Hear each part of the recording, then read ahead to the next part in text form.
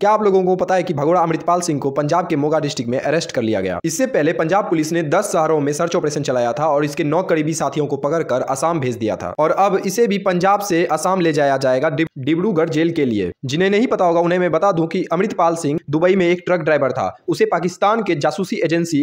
आई ने तैयार कर हिंदुस्तान में भेजा था पंजाब को हिंदुस्तान से अलग करने के लिए हम सबको यह बात पता है की पहले जो खालिस्तान बनाने की डिमांड उठती थी उसमें पाकिस्तान का भी पंजाब शामिल था लेकिन जब से पाकिस्तान ने एक तरफ तरफा सपोर्ट करना चालू किया खालिस्तान को तब से खालिस्तानियों की नजर सिर्फ हिंदुस्तान के पंजाब पे ही टिकी है आप लोगों के जानकारी के लिए एक बात बता दूं कि असम के डिब्रूगढ़ जेल में 57 कैमरे लगाए गए हैं और सुरक्षा की जिम्मेदारी सीआरपीएफ को दी गई है जेल में सिक्योरिटी के कई लेयर बनाए गए हैं ताकि इन्हें भागने का कोई भी चांस ना मिले और इस बात की तो बिल्कुल तारीफ करनी होगी की जिस तरह सेंट्रल गवर्नमेंट खालिस्तान मूवमेंट को हैंडल कर रही है उस तरह से तो इन खालिस्तानियों को एक मिट्टी का कन भी नसीब नहीं होगा अगर आपको यह इन्फॉर्मेशन अच्छी लगी तो आप चैनल को सब्सक्राइब जरूर कर सकते हैं इस इन्फॉर्मेशन के रिगार्डिंग आप अपनी ओपिनियन कमेंट सेक्शन में रख सकते हैं जय हिंद